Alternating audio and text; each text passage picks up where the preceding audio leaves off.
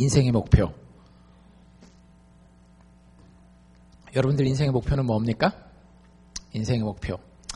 이, 있는 분도 계시고, 없는 분도 계시고, 제가 이렇게 인생의 목표를 이렇게 여러분들이랑 얘기를 하다 보면, 어, 그게 최종 목표는 아닌데요? 이렇게 물어보고 싶은 경우들이 가끔씩 있어요. 예를 들어서, 뭐, 이런 거 흔히 우리가 목표로 잡을 수 있겠죠? 나는 내 평생에 이, 뭐, 어느 정도 돈을 모으는 게, 뭐 50만 불 정도 모으는 게 내 인생의 목표다. 아니면 뭐 100만 불, 뭐 200만 불을 모으는 게 목표다. 아니면 뭐 그런 돈의 액수를 얘기하지 않더라도 어, 내 비즈니스를 알칸사 전역에 한번 다 가져보는 게 내 인생의 목표다. 뭐 이런 이야기들을 해요. 근데 이제 제가 그런 것들을 듣고 곰곰이 그냥 뭐 꼭 제가 이렇게 못돼서가 아니라 이렇게 궁금한 게 있어요. 100만 불을 진짜 버시면 그때는 어떻게 되는 겁니까? 알칸사의 모든 카운티마다 어, 내 가게의 branch를 다 내시면 그 다음에는 어떻게 되는 겁니까? 이런 생각 해보셨어요? 여러 가지 인생의 목표가 있단 말이죠. 뭐 병에서 치유함 받고 싶은 경우에는 병의 치유가 인생의 목표인 것처럼 어, 이야기하고 생각할 수도 있고요. 좋은 대학에 가는 것이 인생의 목표인 것처럼 어린 시절에는 또 그렇게 생각하잖아요. 근데 문제는 정말 그런 것들이 우리 인생에서 목표가 될 수 있는지를 우리는 한 번쯤은 생각해 봐야 될 것 같습니다. 왜냐하면 많은 경우에 우리의 인생은 우리가 목표로 세운 것보다 길더라고요. 군대에서 그런 얘기가 있어요. 인생이 군생활보다 길다. 이런 얘기가 있어요. 이게 무슨 얘기냐면, 군생활에서 막 자기가 병장이니까 막 밑에 애들 괴롭히잖아요. 나중에 나가서 어떻게 만날지 모르거든요. 별의별 사례가 다 있어요. 자기 그 국회의원이나 뭐 시의원, 도의원 출마하는데 거기 딱 가봤더니 자기가 후임병 엄청 괴롭게 했던 그 사람이 와가지고 저 사람 절대 뽑으면 안 돼. 막 이런 경우도 있고요. 회사에 딱 들어갔는데 어 자기 상관으로 후임병이 막 와 있는 이런 경우들도 있기 때문에 여러분들 내가 생각하는 것보다 인생은 꽤 깁니다. 그렇기 때문에 인생의 목적을 잘 설정하는 것은 중요해요. 제가 어 그 여러분들을 존경하는 분들이 있는데 그 중에 한 분이 저희 아버지를 제가 존경을 합니다. 뭐 입에 발린 얘기로 존경하기도 하지만 그 저랑 모든 의견이 다 똑같지는 않아요. 뭐 여러 부분에 있어서는 저랑 굉장히 많이 다른 부분도 있고 동의하지 못하는 부분들도 있을 수 있겠지만 제가 존경하는 부분은 이런 부분이에요. 저희 아버지가 어 뭐 일제 시대 말에 태어나셨으니까 40년대 태어나 초반에 태어나셔서 지금 벌써 연세가 어 60대 70대를 향해서 이렇게 가시는 연세인데 아직도 성장하고 계세요. 참 여러분들 그 기쁨을 잘 모르실 거예요. 여러분들 중에 어, 나이 많이 드신 어르신들을 아는 분들 중에 아직 도 성장하는 분들을 아시는 분들, 나이가 70이 됐는데 60 뭐 후반인데 아직도 이분은 정말 성장하고 있구나라는 걸 갖다가 그 느끼는 그런 분들이 몇 분이나 계실런지 모르겠어요. 저는 분명히 저희 아버지에게서 그런 모습을 봐요. 저희 아버지의 10년 전 모습과 20년 전 모습과 30년 전 모습과 지금의 모습을 비교해 보잖아요. 정말 계속 달라져 있어요. 저희 아버지가 저희 미국에 뉴욕으로 갔을 때 오기 전에 저희한테 무슨 얘기를 했는가 하면 한국의 수학 교육이 달라질 거다. 이제부터는 스토리텔링 수학이다. 막 이런 얘기를 하고 다니셨어요. 그래서 저도 나름 학원계에 꼭 오래 있었기 때문에 하, 수학은 그냥 문제 잘 풀면 되는 거죠, 아버지. 그런 거 그냥 그 책 팔아먹으려고 하는 거예요. 뭐 이런 얘기를 아버지한테 드렸었는데 얼마 전에 제가 대한민국 뉴스를 봤더니 교과서가 다 바뀌었더라고요. 옛날에는 막 공식 쓰고 막 이런 거였는데 요즘에는 스토리, 실생활에 있었던 것을 가지고 그걸 수학에 어떻게 접목하는지가 진짜 나오고 있더라고요. 그러면서 야 이게 1대 0이구나. 아버지 1포인트. 자, 이게 그 그게 가능한 이유가 뭐냐면은요. 저희 아버지가 목회자이시면서 목회도 은퇴를 하셨어요. 근데 뭐가 됐든지 계속 배우러 다니셔요. 그러니까 미국도 보면 도서관에서 여러 가지 프로그램들 하, 잖아요 나이 드신 분들은 이렇게 뭐 이렇게 재봉도 같이 하고 이런 것처럼 한국 그런 거 얼마나 잘 돼 있어요. 도서관이라든지 그 구청이라든지 이런 데서 하는 게 있으면 막 쫓아가요. 그럼 가서 뭐 춤도 배우시고요. 그 목사님이 춤도 배우시고 뭐 교육하는 게 있으면 또 교육도 배우시고 심리, 상담 이런 것도 배우시고 그래서 뭐 국회에서 노인 일자리 해가지고 어 상담 자격증 있는 사람 와서 상담해 주십시오. 자살하는 사람들 그 전화해가지고 하는 그런 것도 가가지고 하고 하세요. 그래서 얘기를 이렇게 들어보면 어 몇년 전에 들었던 얘기랑 또 다른 얘기가 자꾸 있어요. 그러니까 좋은 면으로 긍정적인 면으로 어, 이런 느낌이잖아요. 여러분들 사람이 열려 있다라는 느낌. 무슨 얘기인지 아시죠? 그래서 누가 얘기를 하면 보통 나이가 많이 먹으면 어떻게 돼요? 자기 고집이 이렇게 막 생겨가지고 안 변하려고 그런단 말이에요. 물론 우리가 맞는 것도 다른 사람 얘기만 듣고 다 버리고 그럴 필요는 없겠지만 누군가 얘기할 때는 그 말에 어, 일리가 있을 것이고 들어볼 만한 것이 있으면 일단은 들어보고 생각해보고 대화가 좀 통해야 되잖아요. 근데 어, 그게 좀 된다라는 게 제가 저희 아버지를 존경하는 이유예요. 그러니까 뭐 여러 당연히 아버지로서도 존경해야 되겠지만 아, 한 어른이 나이를 먹어가면서 저렇게 계속 성장할 수 있구나라고 하는 것. 왜 그럴까? 여러 가지 이유가 있을 수 있어요. 저희 아버지가 일단 에너지가 많으세요. 그냥 가만히를 못 있으세요. 이렇게 저 여기 잠깐 오셨을 때 보신 분들도 계시겠지만 키는 굉장히 작으시거든요. 어 160이 채 안 되실 것 같아요. 제가 그냥 눈대중으로 봤을 때. 근데 막 하, 에너지가 막 넘쳐요. 저희가 가끔씩 거기 가서 이렇게 있잖아요. 며칠 있으면 이제 저희는 다, 다, 다 나가 떨어집니다. 뭐 어디 산책을 가자, 어디 뭐, 뭐 하자, 뭐 이렇게 하면 다 나가 떨어지네요. 에너지가 있기 때문에 아마 그런 성장이 가능할 수도 있지 않겠나라는 생각을 해요. 근데 보면 에너지가 많은데도 그렇지 않은 분들도 있거든요. 에너지가 많기 때문에 오히려 자기 그, 이게 쌓아놓은 아집이 더 많으신 분들도 오히려 있어요. 그래서 여러 가지 이유를 찾아봤는데 그 답을 제가 어디서 발견했는가 하면 카카오톡에서 발견했습니다. 카카오톡 여러분들 많이들 하시잖아요. 카카오톡 그 프로필에 뭐 이렇게 메시지를 하나씩 써놓잖아요. 제가 읽어드릴게요. 저희 아버지 카카오톡에 시작하신 처음부터 지금까지 똑같아요.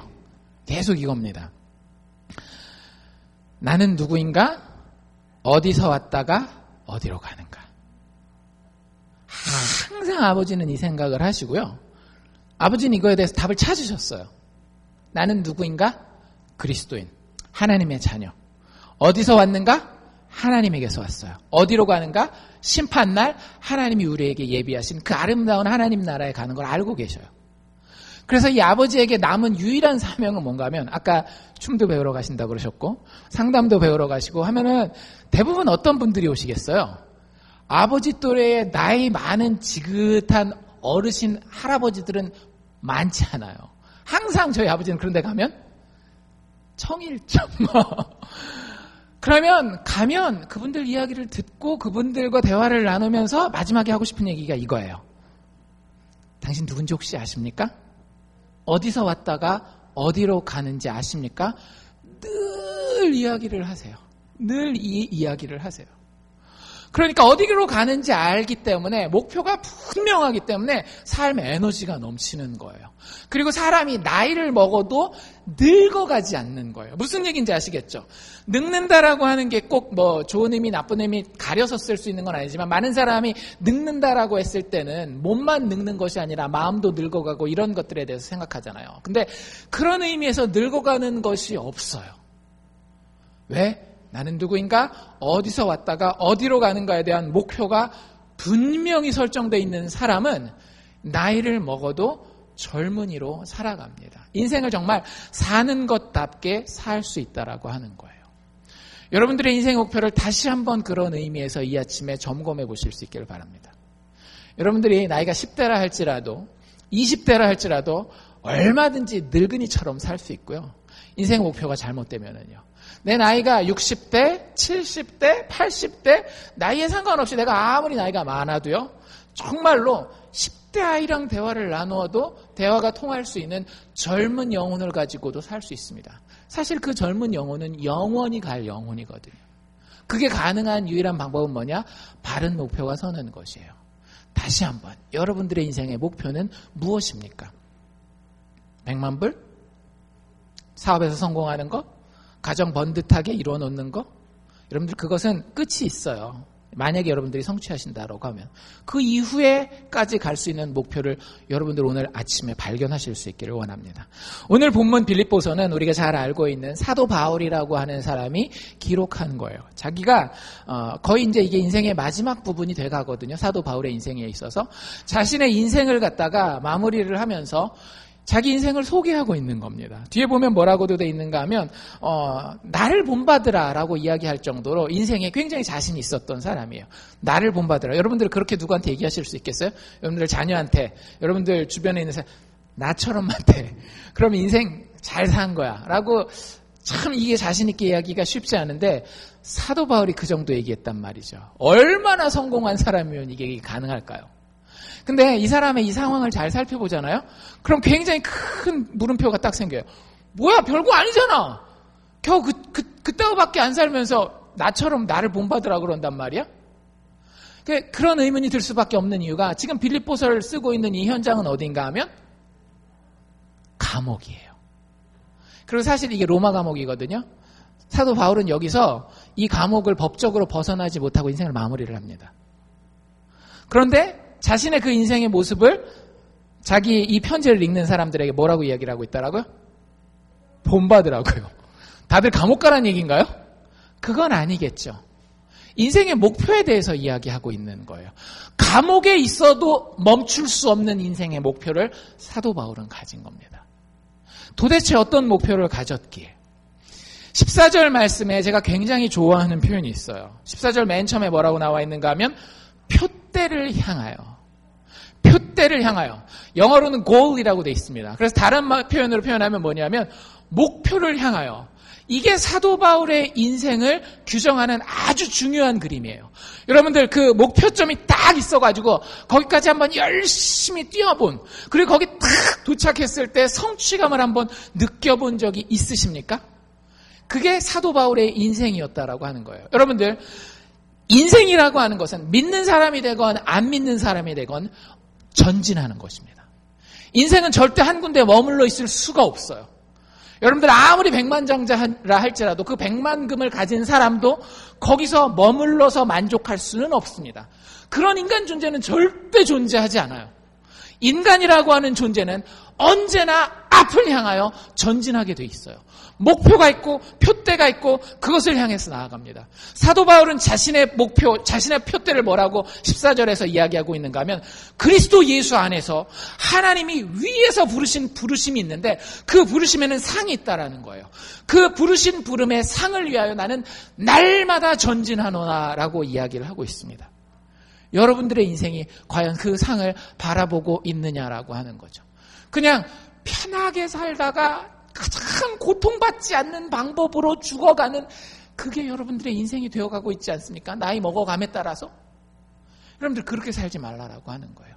여러분들에게는 받을 상이 있어요. 쫓아가야 할 목표가 있습니다. 단 여기서 우리가 착각해서 세상이 이야기하는 상이나 세상이 이야기하는 성취랑은 헷갈리시면 안 돼요. 세상이 이야기하는 것은 막 뭐 잘 되고 뭔가 커지고 유명해지고 이런 것들을 이야기를 하는데 그게 아니에요. 우리가 가진 목표는 무엇인가 하면 우리가 받을 하늘에서 임하게 될 상은 무엇인가 하면 그리스도 안에서 하나님이 약속하신 목표입니다. 그것을 우리가 깨닫고 그것을 향해서 나아가는 거예요.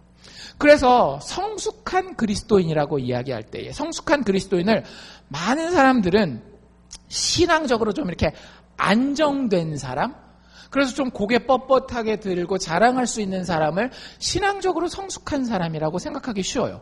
근데 그렇지 않습니다. 여러분들 신앙적 교만, 다른 말로 얘기하면 여러분들 교만하면 어떻게 되는가 하면 교만하면 항상 잘못된 만족감이 찾아오거든요. 그래서 신앙이 정체되게 돼요.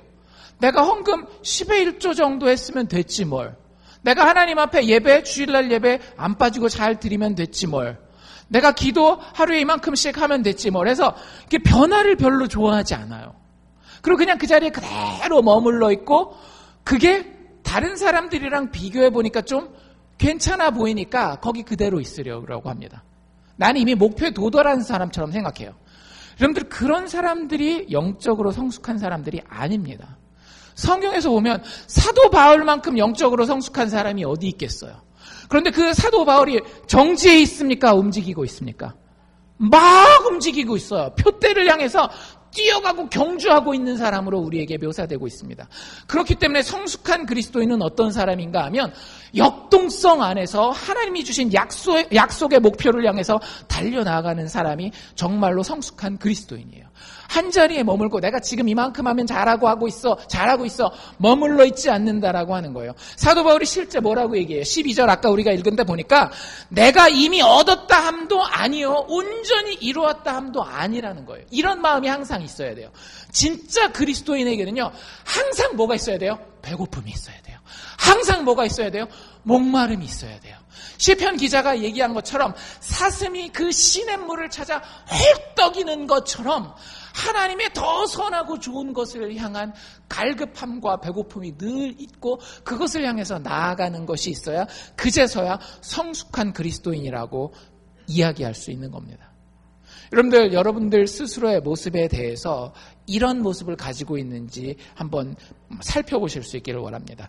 리 워렌이라고 하는 목사님이 이런 얘기를 한 적이 있어요.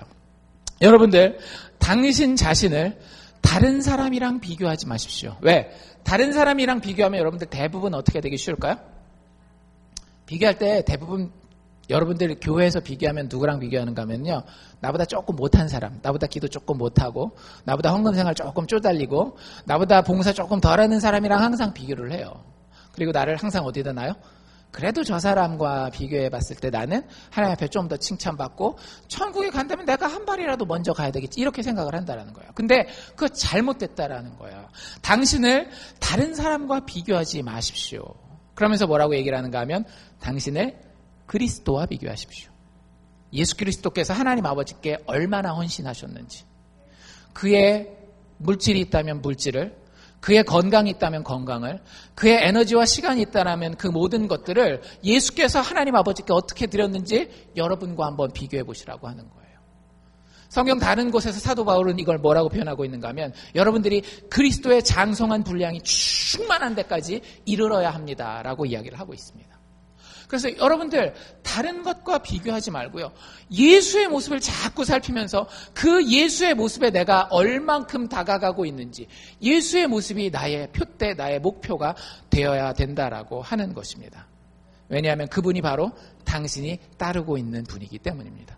여러분들 주변에 여러분들보다 조금 더 신앙생활 못하는 사람, 그분들이 여러분들이 따르는 분이 아니잖아요. 예수 믿는다라고 고백하는 순간 여러분들 누굴 따르는 사람이에요? 예수의 제자들 아닙니까? 예수를 따르는 사람들 아닙니까? 그러면 다른 것 보고 핑계 대거나 괜히 그 되지도 않은 그 교만함 가지지 말고요. 예수 바라보고 겸손하게 내그 목표점을 향해서 나아가는 겁니다. 그게 그리스도인이 추구해야 할 삶의 모습이라고 하는 거예요.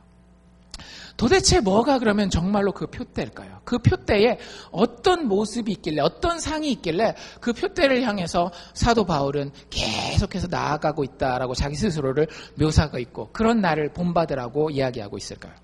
그 정답은 10절에 나와 있습니다. 제가 10절을 다시 한번 읽어 드릴게요. 내가 그리스도와 그 부활의 권능과 그 고난의 참여함을 알려 하였다. 그래서 그의 죽으심까지 본받았다라는 이야기를 해요. 여러분들 많은 사람들이 인생의 목표를 생각할 때 우리는 계속해서 세상에 그 쉽게 얘기하자면 세뇌를 당했어요. 우리가 생각하는 많은 목표들은 잘 생각해 보세요. 뭔가 하면 굉장히 결과론적인 거예요. 심지어는 신앙생활도 되게 결과론적으로 합니다. 여러분들 어떻게 해요? 예수 믿을 때 예수 믿으면 그 결과가 뭐여야 된다라고 생각해요? 죽을 때 천국 가야 예수 믿는 거 성공했다라고 생각하지 않습니까? 그래서 많은 경우에 하, 천국은 가야 되겠는데 교회는 가기 싫고 그러면 항상 하시는 멘트들이 뭐예요? 내가 주일날 교회는 안 가지만 마지막 죽음을 앞둔 병원 침대에서는 목사님 오셔서 나랑 같이 기도하고 아멘 예수 믿겠습니다 하고 그렇게 천국 가겠습니다. 그러면 내가 중간에 조금 그랬더라도 성공한 신앙생활 한 겁니다. 목표 달성입니다. 틀린 얘기는 아니에요. 틀린 얘기는 아닙니다. 근데 여러분들 이게 굉장히 세속적인 가치관에 의해서 물들어져 있는 목표론이에요. 끝에만 잘 되면 된다라고 하는 거죠. 지금 내가 뭘 어떻게 되더라도 끝에만 잘 되면 된다라고 하는 거예요. 한국 사람들은 특별히 어려운 시절을 겪었기 때문에 그런 강박관념이 굉장히 강합니다. 우리 어, 떤 생각, 미국 왔을 때 어떤 생각 가지고 있었어요? 돈 많이 벌어서 끝에 내가 떵떵거리고 살면 된다. 끝에 내 자식들 잘 되면 된다라고 이 미국 땅에서 살고 있는 경우가 많이 있단 말이에요. 내 자식들을 위해서는 내가 헌신해가지고 이 자식들 잘 되게 하리라는 결과론적인 목표론을 가지고 있어요. 근데 많은 경우에 미국인, 미국에서의 한국 가정들이 어때요? 정말 행복합니까? 정말 그 자녀와 부모가 마지막에 대학 가고 결혼하고 다시 만났을 때에 정말 이거 못 죽어가지고 꼭 만나야 되는 그런, 그런 관계로 여러분들 발전하는 가정들 많이 보셨어요? 아니잖아요. 나는 정말로 최종 목표를 결과론적으로 내가 잘 벌어서 중간에 좀 희생하더라도 자식 좋은 거 먹이고 좋은 것 입히고 좋은 대학 보내고 좋은 job 가지게 하고 좋은 혼처에다가 결혼 보내면 나중에 만났을 때 우리 결과론적으로 참 좋을 거라고 생각해서 그 결과론만 바라보고 우리는 중간 과정을 다 무시하고 애 앞에 아버지가 있어줘야 되는 순간에 애와 함께 어머니가 같이 엉엉 울어야 줘야 되는 순간에 다 어디가 있어요? 돈 벌러 가 있잖아요. 결과론적인 그런 목표론을 가지는 것은 상당히 위험합니다. 성공할 수도 있어요. 성공할 수도 있지만 많은 경우에 잃어버리는 것이 너무 많아요. 그래서 우리가 다시 성경으로 돌아가요. 세상은 우리에게 심지어는 신앙생활 하는 것도 이 결과론적인 목표를 자꾸 두게 만드는데 그렇지 않아요. 제가 아까 10절 읽어드렸잖아요. 10절에서 사도 바울이 목표로 잡고 있는 것을 동사 하나로 표현하면 뭔지 아세요? 알다예요. 영어 단어로 know입니다. 여러분들 아는 것이 인생의 목표라고 생각해 본 적이 한 번이라도 있으신가요? 내가 뭔가를 알면 내 인생은 목표를 성취했어. 라고 한 번이라도 생각해 보셨어요? 많은 경우에 그런 생각을 못 해요. 왜? 생각하고 아는 것은 결과론적으로 별 영향을 미치지 않는다라는 그런 고정관념이 우리에게 있기 때문에 그런 겁니다. 근데 그렇지 않아요. 사도 바울은 이 아는 것 때문에 전혀 다른 사람이 됐습니다. 그 누구에게도 자기 인생을 소개할 때 부끄럽지 않은 자랑할 수 있는 그리고 나를 본받으라라고 할 수 있을 만한 인생을 살 수 있는 사람이 됐어요. 이 지식 때문에, 이 지혜 때문에, 이 암 때문에. 그리고 이것이 자기의 평생에 자라갈 수 있는 알미라고 생각했습니다. 그걸 인생의 목표로 삼았어요. 여러분들도 이 알을 여러분들의 인생의 목표로 삼으십시오. 이 알은 우리가 세상에서 이야기하는 머리로 아는 단지 정보를 아는 지식과는 좀 달라요. 머리의 기억 지식만이 아닌 이 아는 것이 내 삶의 현실이 되어지는 거예요. 여러분들 참 신기한 거는요. 사람은 믿는 대로 그 인생을 살아가게 됩니다. 자기가 정말로 이걸 내가 제대로 알고 있다라고 생각하잖아요. 그러면 삶이 그 알에 의해서 만들어지게 돼 있어요. 여러분들이 뭘 알고 있느냐가 굉장히 중요합니다. 근데 우리들의 지식은 다 어디서 와요? 세상에서 오지 않나요? 텔레비전에서, 영화에서, 음악에서, 친구들과의 대화에서, 혹은 나 스스로의 경험에서 그 모든 지식들 알미 오잖아요. 그런데 그렇지 않다라는 거예요. 그 알을 사도 바울이 앞에서 뭐라고 얘기를 하냐면 자기는 배설물처럼 똥처럼 여기서 다 버렸대요. 자기가 알기 원하는 것 딱 세 가지를 여기 이야기하고 있습니다. 첫 번째 뭘 알기를 원했대요? 내가 그리스도를 알려 하였다. 그리스도를 알려 하였다. 여러분들, 그리스도의 십자가를 묵상하십시오. 이게 인생의 목표입니다. 내가 예수 믿은 다음에 뭘 어떻게 할까? 거기 집중하지 마세요. 그냥 예수 그 자체에 예수 그리스도의 십자가에 집중하실 수 있기를 바랍니다. 그 알미 여러분들의 삶 가운데 주는 삶의 능력이라고 하는 것은 정말로 놀라워요. 어떤 목사님, 어, 그 신학자가 이런 얘기를 했어요. 단 칼슨이라고 하는 신약 신학자가 이런 얘기를 했어요. 여러분들, 심판이 뭔지 똑똑히 보기를 원하십니까? 십자가를 바라보십시오. 얼마나 그 죄의 대가가 처절한 것인지 알기 원한다면 십자가에 못 박혀 피 흘리고 가슴 연류관에서 철철철 그 피를 흘리는 예수 그리스도의 잔인한 죽음을 바라보십시오. 그게 죄의 대가요. 심판입니다. 십자가를 바라보십시오. 그리고 이런 얘기를 또 해요. 여러분들 그런데 참 사랑에 대해서 알고 싶으십니까? 정말로 참된 사랑, 영원히 변치 않는 그 사랑을 알기를 원하십니까? 뭘 바라보라 그랬겠어요? 십자가를 바라보십시오. 십자가를 바라보십시오. 거기에 하나님의 아들이 우리와 똑같은 육체를 입고 이 땅에 오셔서 죄인의 자리에서 대신 죽어주신 사랑이 거기에 있습니다. 여러분들, 우리가 이거 잘 몰라요. 알고 계셨어요? 교회 다니고 내가 성경도 좀 아는 것 같고 천국에 가는 방법 다 알고 있는 것 같지만 사실 십자가를 너무 몰라요. 여러분들 십자가를 아는 사람이 교만할 수 있을까요? 절대 교만할 수 없어요.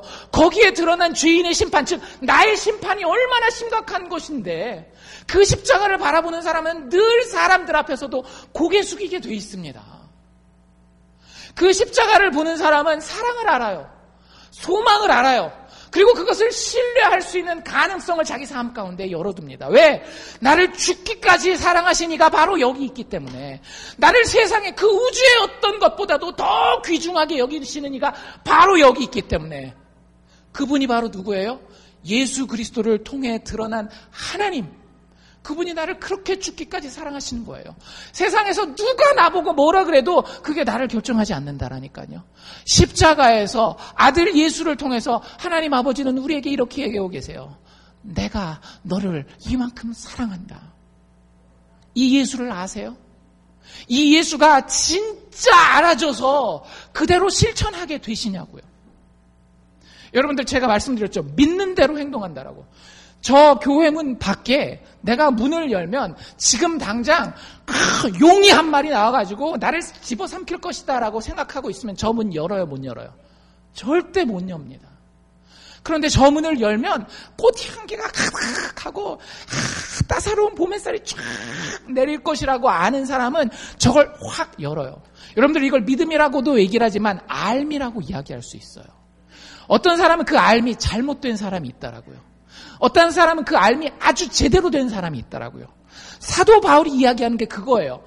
아는 것은 그 사람을 움직이게 만듭니다. 여러분들 세상 가운데에 십자가를 제대로 보고 예수 그리스도를 알게 된 사람은요, 점점 그 인간으로서의 깊이가 깊어져요. 사람들 만났을 때 아무리 나이를 많이 먹어도 굉장히 항상 먹고 사는 이야기 혹은 돈에 대한 이야기 말고는 더 깊이 안 들어가는 사람들 여러분들 보이시죠? 별로 정도 안 가고 존경도 안 돼요. 근데 어떤 사람들은 나이가 조금 나보다도 연배가 어리고 이런데도 굉장히 그 인생의 깊이가 깊고 대화를 나누면 더 시간이 길게 그 대화를 나눴으면 하는 사람들이 있더라고요. 왜 그럴까요? 아는 것에 대한 차이 때문에 그러는 거예요. 그 사람이 아는 것이 정말로 예수 그리스도에 대한 알미 거기 담겨 있잖아요. 그럼 그 인생의 깊이 자체가 달라진다라고요. 그 사람의 사는 모습이 다르고요. 그 사람에게서 흘러나오는 그 향기가 완전 달라져요. 여러분들 그 예수를 아는 것이 우리 인생의 목표여야 된다라고 하는 거예요. 예수 아니까 이제부터 내가 뭘 행동할까 그게 우리의 인생의 목표가 아니고요. 그거는 결과론적인 굉장히 좀 세속화, 세속화된 그런 목표고요. 그냥 예수를 아는 것 하나만으로 만족하세요. 그러면 여러분이 실제 달라져요. 여러분들이 움직이는 입꼬리가 달라지고요. 눈빛 하나하나가 달라진다라니까요. 여러분들이 쓰는 말투의 토시가 달라져요. 예수를 알면 그 십자가의 심판과 그 심판 가운데서도 드러난 하나님 아버지의 사랑을 알면은요. 인생이 똑같을 수가 없어요. 교회 다니는 사람들이 많아지지만 세상 사람들이 여전히 내가 예수는 좋아하지만 교회 다니는 사람들은 싫어한다라는 얘기를 해야 될 수밖에 없는 이유가 뭔가 하면 교회 다니는 사람들이 예수를 모르기 때문에 그러는 거예요. 예수 그리스도를 알아야 됩니다. 그게 우리의 인생의 목표입니다. 두 번째 사도 바울이 이걸 아는 것이 이걸 점점 더 많이 알아가는 것이 인생의 목표라고 얘기를 해요. 뭐죠?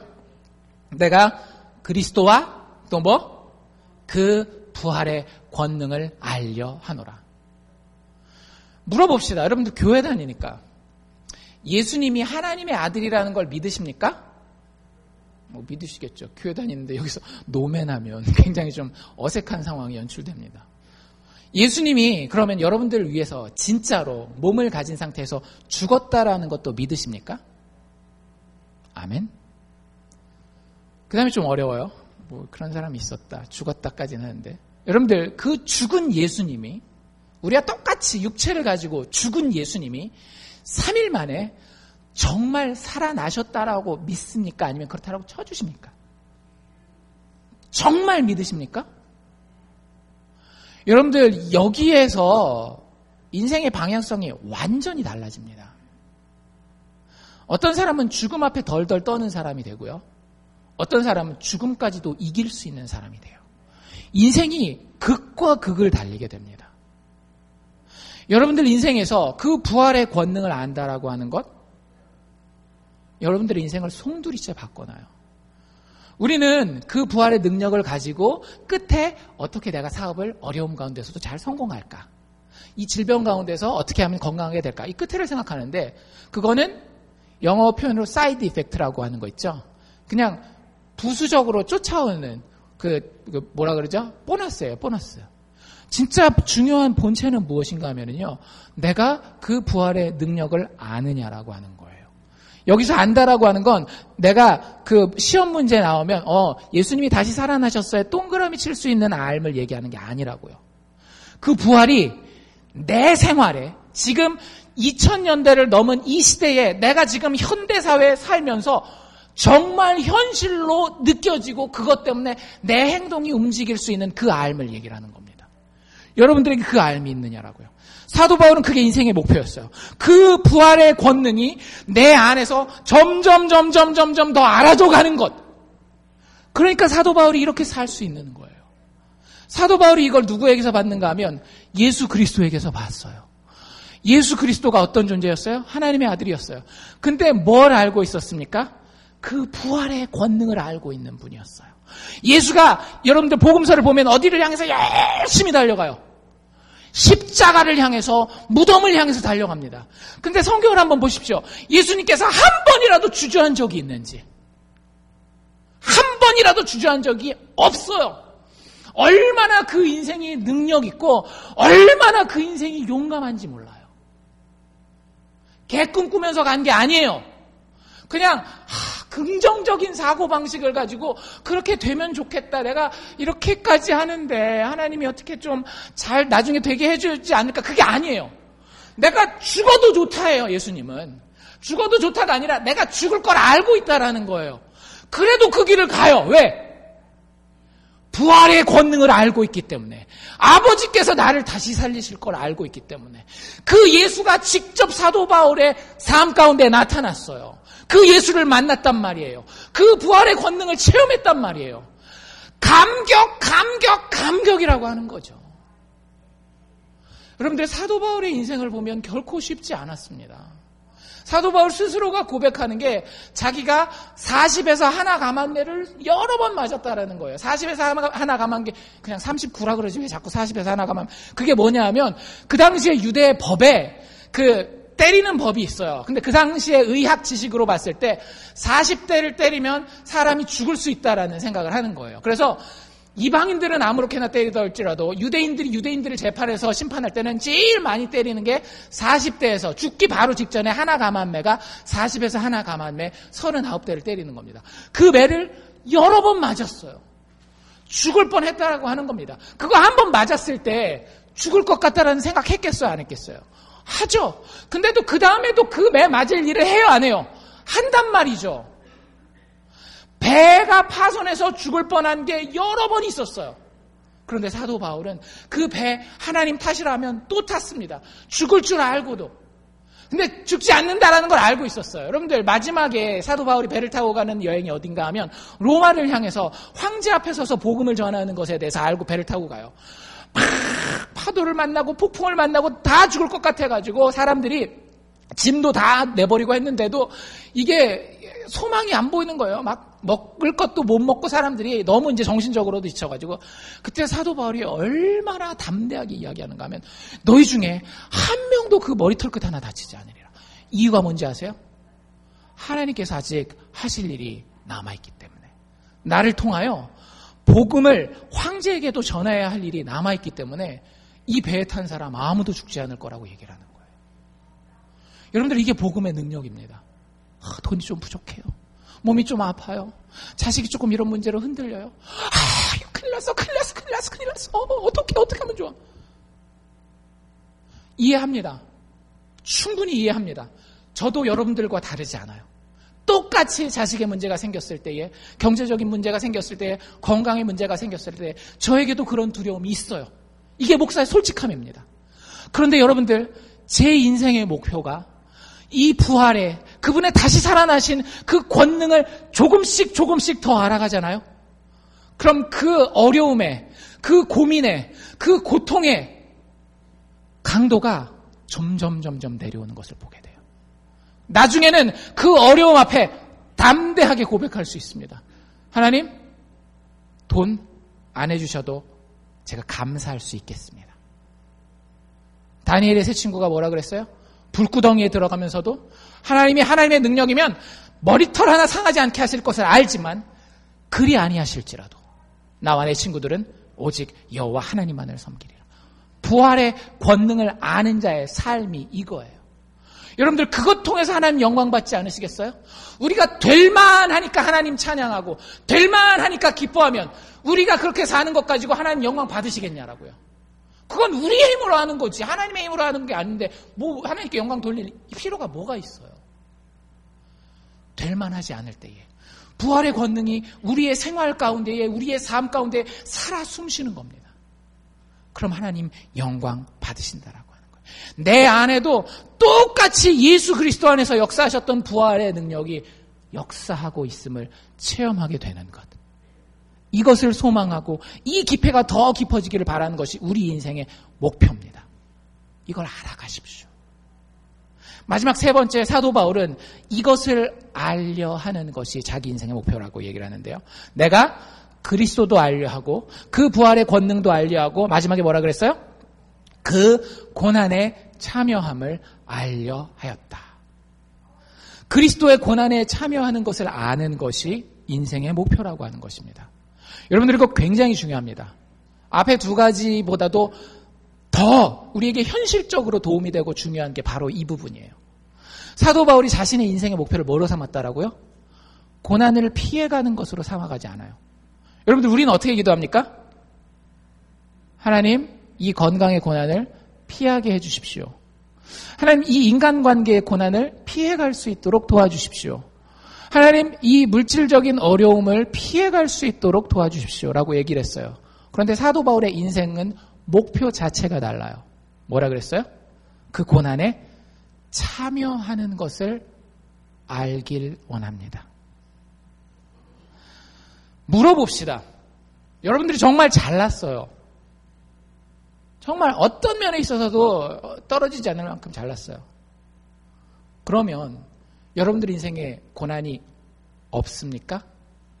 장담하실 수 있겠어요? 나는 건강하고 물질적으로도 풍족하고 자식들, 가족들 다 평안하기 때문에 앞으로 내가 뭐 10년을 살지 뭐 100년을 살지 모르겠지만 내 인생에 나는 고난 절대 안 당할 자신이 있습니다. 그 정도는 내가 다 커버해서 쳐낼 수 있습니다. 이런 자신이 있는 분이 계시냐고요? 전 그런 자신은 없어요. 제 스스로 제 교만하지만 똑똑하다. 웬만한 문제가 있으면 문제 해결 능력도 탁월하다 생각하지만 고난을 내가 다 피해갈 수 있고 당하지 않을 것이다 라는 생각은 평생에 저 추워도 안 해봤습니다. 예수 믿기 전에도 예수 믿은 이후에도. 그래서 이게 중요한 거예요. 여러분들 인생의 목표 중에 하나는 뭐냐면 고난이 있는데 그 고난의 의미를 어떻게 해석해내고 얼마나 큰 능력으로 그 고난을 뛰어넘느냐라고 하는 겁니다. 그게 인생의 목표여야 돼요. 우리는 자꾸 인생의 목표를 어디다 잡는가 하면 고난이 다가오면 그 고난 케이스 하나 그걸 뛰어넘는 그걸 인생의 목표로 삼아요. 근데 여러분들 인생이 더 길다니까요. 여러분들의 고난이 끝난다라고 인생이 끝나지 않는다라니까요. 인생은 그거보다 더 길어요. 그래서 여러분들에게 필요한 건 뭐냐면 내가 어떤 고난이 다가오더라도 그 고난을 능히 이길 수 있는 존재가 되는 거예요. being과 doing의 차이를 아시죠? 내가 지금 나에게 다가오는 거를 갖다가 탁탁탁 싸워가지고 탁 뛰어넘는 이 doing이 우리 인생의 목표가 아니라 어떤 상황이 나에게 다가오더라도 나는 항상 그것을 이길 수 있는 존재가 되어 있는 것 이게 인생의 목표라고 하는 거예요. 자꾸 뭐 하는 것에 집중하지 마시고요. 내가 하나님 앞에서 제대로 된 인간이 되는 데에 집중하시라고요. 그 고난에 참여하는 것을 아는 것. 여러분들 우리 인생에 고난이 있습니다. 예수 믿는다라고 그 고난을 피해가지 않아요. 확실한 사실입니다. 우리가 그 고난 가운데에 우리 스스로를 정말 티끌같이 작은 존재로 겨자씨만 또 못한 존재로 여겨, 여길 때가 있어요. 나 스스로를. 그저 티끌이 땅 속에 처박혀가지고 어두움 가운데 묻혀 지내서 이제는 내가 땅 속에서 시체가 되나 보다. 이런 고난, 어려운 인생 가운데 처해 있을 수 있다라고요. 여러분들, 하나님이 그런 인생에게 던지는 메시지가 이겁니다. 너희들 힘들지? 힘들지만 나를 신뢰해라. 하나님 아버지가 우리에게 자신을 신뢰하라는 거예요. 그리고 그 모범을 누가 보여주셨어요? 예수 그리스도께서 보여주시잖아요. 예수 그리스도께서 아프셨어요. 굉장히 배고프셨고 굉장히 목마르셨습니다. 그리고 죽기까지 피를 철철 흘려야 했어요. 그런데 그 고난을 피할 수 있는 기회가 있었거든요. 바로 그 전날 밤이었어요. 겟세만의 동산에서 하나님 아버지 앞에 간절히 독대, 아버지를 독대하고 기도를 합니다. 하나님, 피할 수 있으면 이 고난의 잔을 피하기를 원합니다. 그런데 그 마지막 결론이 뭐였죠?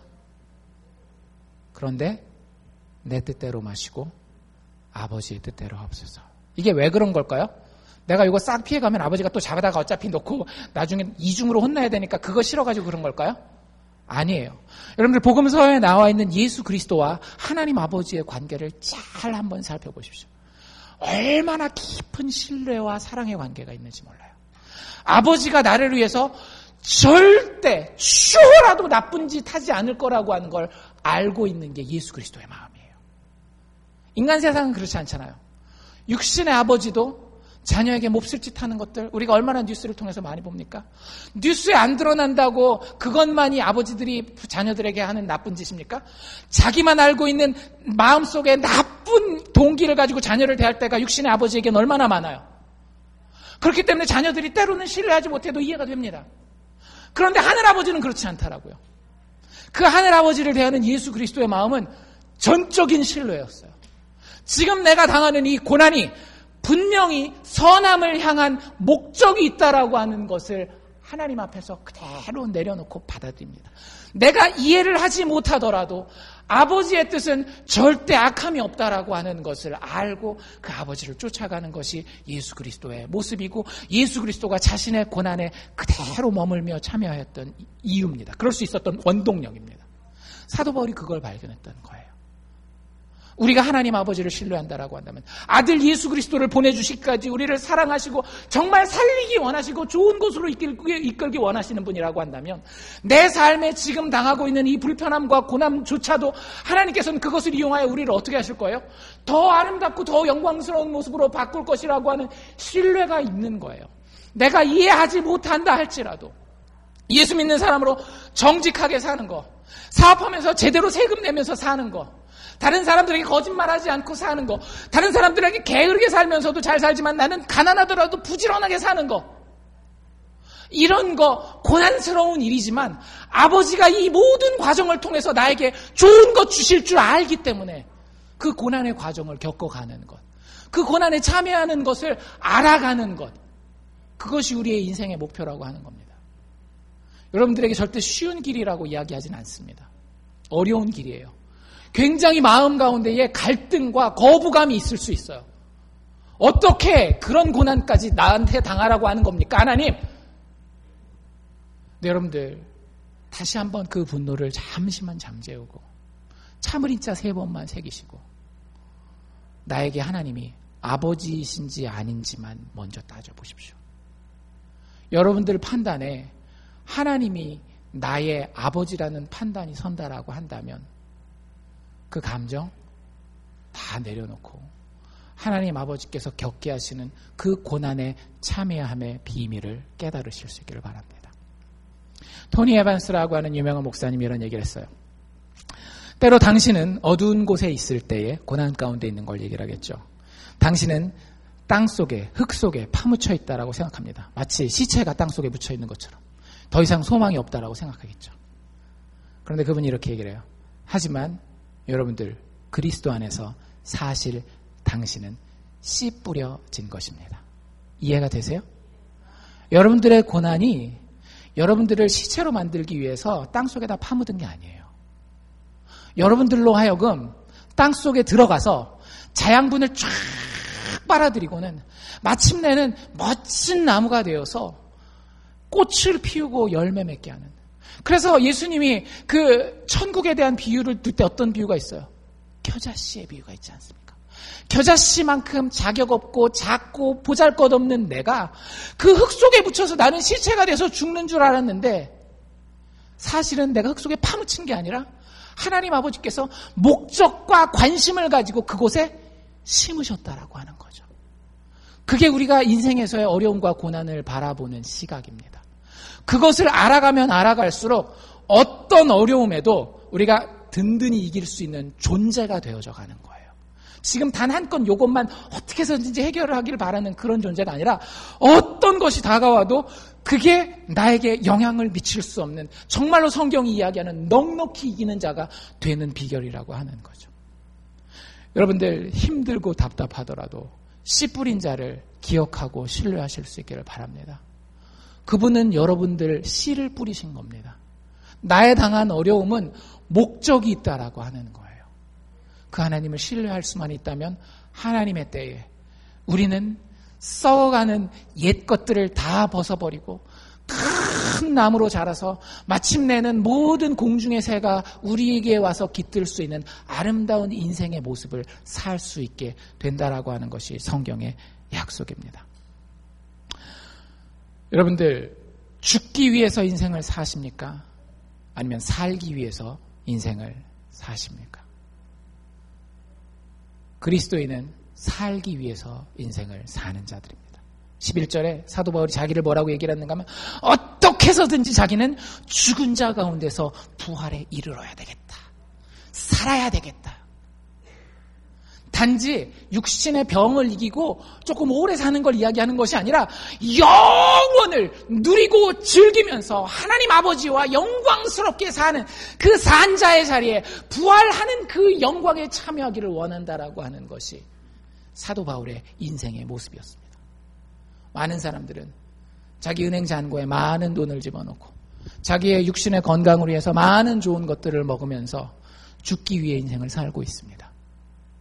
여러분들 그렇게 인생 살지 맙시다. 살기 위해서 삽시다. 우리의 인생의 목표는 그리스도의 부활의 능력으로 그 능력을 점점 더 알아감으로 영원히 살기 위해서 사는 것입니다. 영원히 사는 것처럼 오늘 하루를 사는 거예요. 아니, 처럼이 아니라 영원히 사는 자가 되었기에 영원히 사는 자로서 오늘 하루 돈을 쓰고 오늘 하루 가족들을 만나고 오늘 하루 밥을 먹고 운동을 하고 모든 관계를 맺어가면서 살아가는 자. 그 자가 하나님이 이야기하는 참된 그리스도인입니다. 표대를 향하여 전진합시다. 그 표대는 우리가 참된 그리스도인 되는 것입니다. 우리의 목표는 그리스도를 아는 데 있습니다. 우리의 목표는 그분의 부활의 권능을 아는 데 있습니다. 우리의 목표는 그분의 고난에 참여하는 것을 아는 데 있습니다. 우리가 그것을 매일매일 그리스도의 장성한 분량까지 알아갈 때에 우리의 인생은 그 어떤 인생보다도 빛나고 영광스러운 인생이 될 줄로 믿습니다.